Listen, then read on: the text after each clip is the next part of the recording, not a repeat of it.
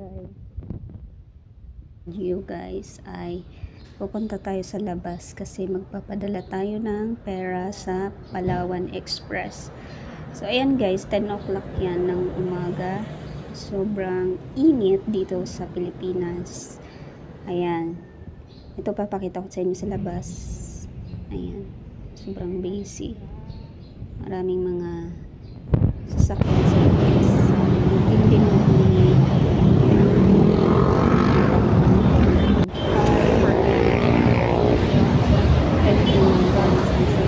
May tricycle. May sasakyan. Ayun lang, naglalakad na. Dito talaga kasi papadala tayo ng pera. Ayan.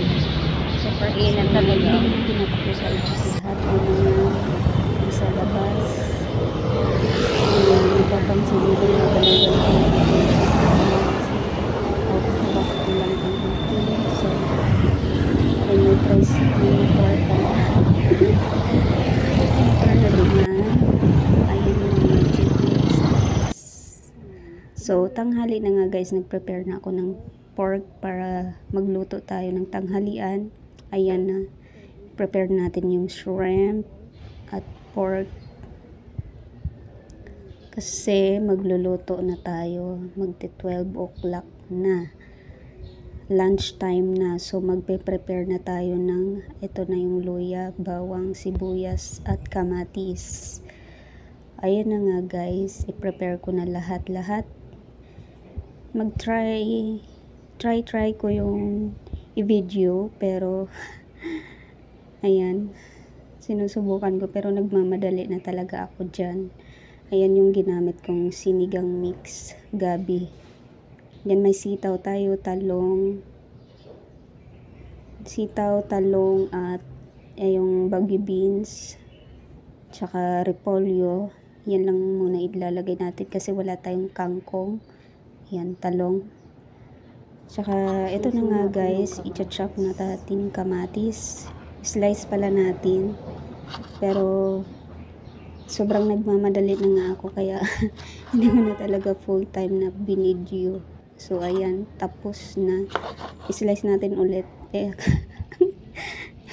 ayun, habang nagigisa na ako ng pork sa kawali, igisa muna natin yung pork para maalis yung amoy.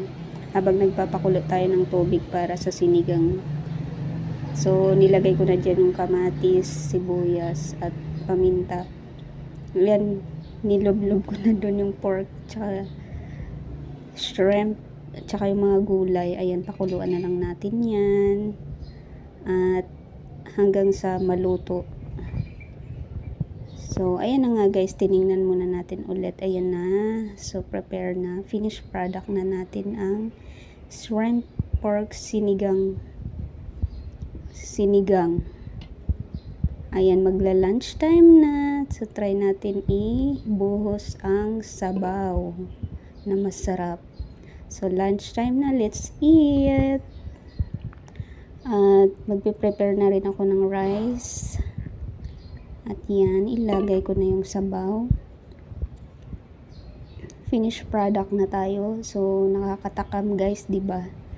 So, try nyo din magluto guys kung masarap. Masarap yung niluto ko. Sobrang sarap talaga as in. So, try nyo din magluto ng sinigang pork shrimp sinigang mix na gabi. Tsaka ito na nga yung ating finished product. So, iyan lang guys ang ating vlog for today's video. Please like and subscribe. So, mag-prepare na tayo ng ating rice at magla-lunch time na. So, huwag kalimutan